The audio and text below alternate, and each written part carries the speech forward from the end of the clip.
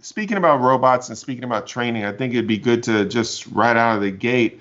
You know, there's a lot of people that don't understand robots. They don't understand automation. They they see you know a lot of work of, has gone out of like our country and different things and and so you know they think robots kill jobs you know is there you know can you speak to that a little bit i oh, know oh, yeah. it's not true but at yep. the same time i'd love to hear from from you yeah you know that's something it's something that uh, that we've been talking about and experiencing uh, since we started the company in terms of what robots do and um, you're right that they don't take jobs. Um, but manufacturing is changing in terms of what people do in, within the manufacturing floor.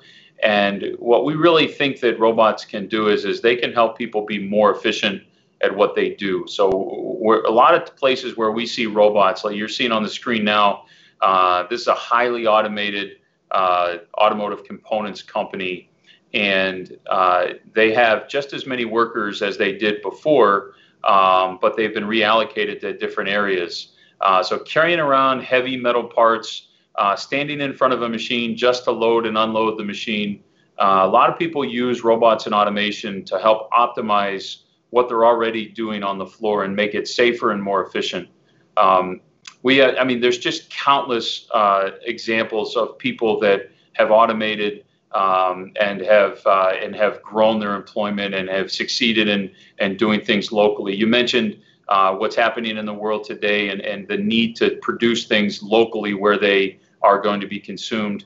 Um, a good buddy of mine, Matt, uh, runs a company called Vickers Engineering on the west side of this of Michigan, and um, you know he was on the they were on the brink of going out of business because of offshoring, where where they couldn't be competitive and on their, their machine shop. They've got a ton of machines. They were doing parts for a lot of different industries. And we started to help him automate.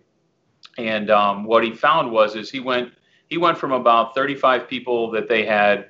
Um, they bought a couple robots. They started training those employees, the machinists that they had on their floor, on on how to program the robots in addition to to the machines. Um, everyone on the floor got more efficient, so you could do multiple things. Um, a lot of the, the machi- a lot of the mechanics that were there that were helping maintain the machines started to learn how to maintain the robots. And next thing you know, he's competitive again to uh, some of the offshoring that was going on. Um, his business goes up from 35 people to 100 people, and then from 100 people to 200 people.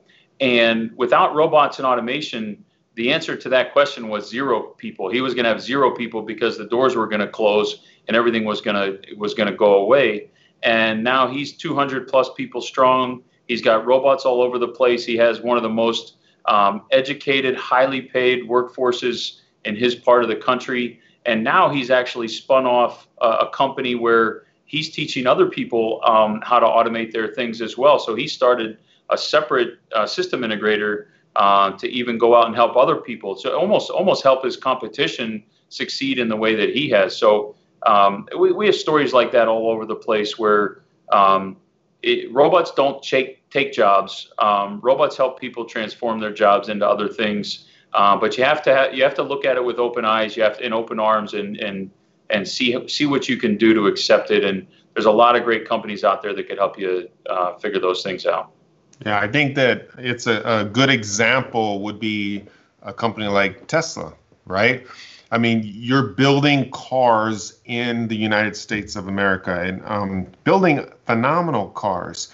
But if you didn't have robots and you didn't have the automation that he has, which of course you need people also, uh, it would be an impossible thing to actually build a car in in America, right? Yeah, absolutely. I mean, especially when you look at what uh, what he's done in terms of building the the first you know mass-produced electric vehicle. There's a lot of things that go into that car that are different than what's been in traditional manufacturing, and so uh, we had folks in there that uh, you know they look at a process when you come to see what the battery looks like or to see how that's different compared to it, uh, a regular vehicle and um, you can you can google some of these videos and see them but i mean we have a robot that can it picks up the whole car um, it happens at a lot of the other automotive oems now too but um, because of that process, uh, we needed to work on our designs where we needed to make a robot big enough. They they needed they needed a robot that could move the car around once it was almost finished, and and we needed to make a robot big enough to do that. And so fortunately, we had one that could uh, could physically move the whole vehicle from one spot to another in the middle of the production line. So uh, things that could never be done uh, with human labor safely.